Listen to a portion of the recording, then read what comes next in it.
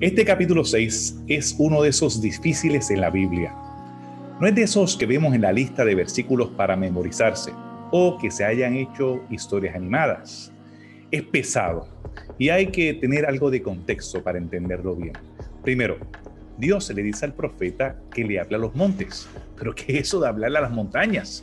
Bueno, tienes que recordar que el pacto Dios lo había hecho con Israel.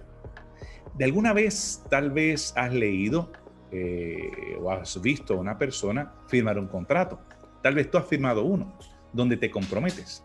Es posible que firmaste para entrar al club de conquistadores, manual de conducta de la escuela o un compromiso de dinero. Pues en la antigüedad los contratos se firmaban en algunas ocasiones matando a un animal.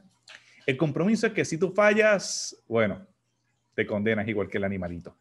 Yo creo que eh, no te vas a quejar más por poner tantas iniciales en cada página y firmar tantos papeles.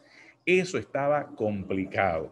Y además de eso, jurabas por los dioses como testigos y repetías algunas fórmulas y conjuros. Me ha tocado leer muchos de esos contratos eh, y pactos antiguos. Pero cuando Dios hace un pacto con Israel, no invoca a otro Dios ni algún otro humano. Por otro lado, recuerden Josué, donde Dios invoca a los montes como testigos. Los montes son los que sirven como testimonio en ese contrato entre Dios y su pueblo. Y entiendes por qué los montes son tan importantes en los salmos y en los profetas. Así que leemos, leemos cómo considera Dios a los montes como testigos. Ellos serían los que también experimentarían las consecuencias de romper el pacto.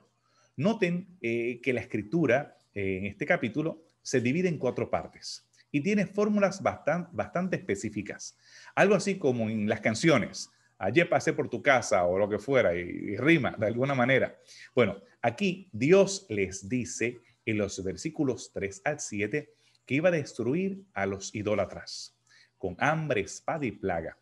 Pero del final, el 13 al 14, se presenta el resultado, la tierra desolada. Así lo vemos en el 3 al 7, la destrucción, y del 8 al 10, eh, el remanente que va a quedar. Otra forma de verlo es como un ciclo. Dios les deja saber que si toman el camino, las consecuencias serán las siguientes. El mensaje no es fácil de apreciar, pero es tiempo que nos dejemos de tonterías, que veamos qué es lo que Dios está esperando de nosotros. Y yo sé que no nos gusta que nos digan la verdad así en la cara, no es popular hablar de las consecuencias. Cuando yo tengo que ver matrimonios rotos por la infidelidad, la salud destruida por no comer correctamente, la desesperación de las deudas por no ser mayordomos fieles y cuando pierdes el trabajo por deshonestidad.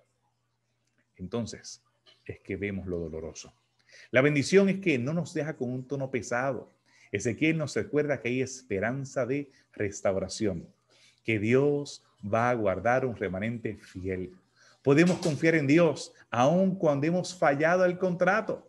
Cuando esa firma se puso allí, eh, tal vez no valió de nada de nuestra parte, pero Dios, Él es fiel, nunca nos abandonará, nunca nos fallará.